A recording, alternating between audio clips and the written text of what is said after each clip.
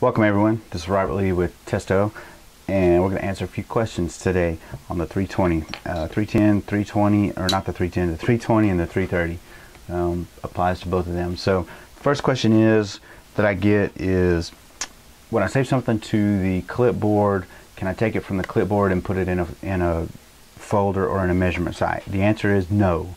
The clipboard is for printing. That's all it's for. You can't copy and paste it uh, from the clipboard to a folder or a measurement site like you can on your computer. Clipboard's for printing, that's all it's for. So the next question is, well then how do I get it to a site, a measurement site? When you get your 320, you'll notice that there's a folder slash site up here at the top. That tells you where you are. That's, that's kind of like your navigation menu, your breadcrumbs um, on your web browser and your, your uh, Windows Explorer table. So what we're going to do, first thing is we're going to go to folders locations. And you can see I already have a couple of different folders in here. But we're just going to go down here and make a new one. So we're going to hit options, new measurement, we need a uh, new folder. So we go down here to new folder, we hit OK. Folder name, we hit edit. And we're going to make this one um, 5, 6, 7. So after you've named it, you go down here, you have to highlight this last row where it says save so that it turns this button to save. And then hit save. Same thing for contact person, street, postal code, you, you put all that in. And then the next thing we're going to do is we're going to go down to that folder we just made, 567, and we're going to hit options again, and we're going to put in a new measurement site. So our new measurement site is going to be called um,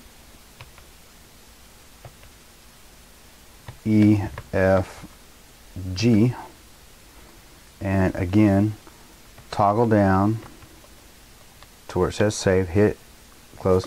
Combustion type, we're going to hit this. So you can set up combustion types. So the first combustion type would, would be, say, a 90% condensing furnace. The second one would be a 95% condensing. The third one would be induced draft. The fourth one would be um, natural draft. And it only goes to four. So you could pick that there. And that matters in the matrix, which we'll talk about at another time. But that's where the, the combustion type really comes in uh, to play there. Um, go down altitude, hit edit. We're going to put our altitude in 725 feet. That's my altitude. Save.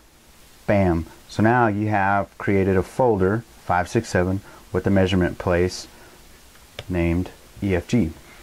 So naming conventions are your own, but a folder could be a building number, for example, building number one, and then each measurement measurement site inside of it can be boiler number one with the serial number, uh, furnace number one, water heater number, whatever. But you can put as many sites under there as you, as you need to in each folder.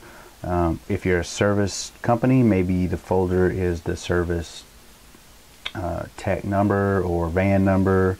Um, anyway, that you can arrange it however you want, but you basically have a folder and then a bunch of sites under it. Is is how it works.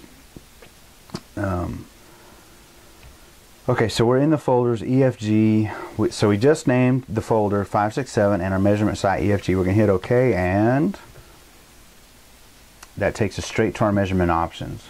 So as soon as you hit OK in measurement options, you go. You have to go pick a test that you want to do. Um, the test that we're going to do today is gas clocking. And the reason we're going to do that is because that's the next question on the list. However, in an effort to keep the videos short and able to view them on phones very easily, it's going to be another video. So that concludes the can I copy from the clipboard, which is no, it's only for printing and how to set up a folder site question. Hope it helped. Watch out for the next video. This is Robert Lee with Testo.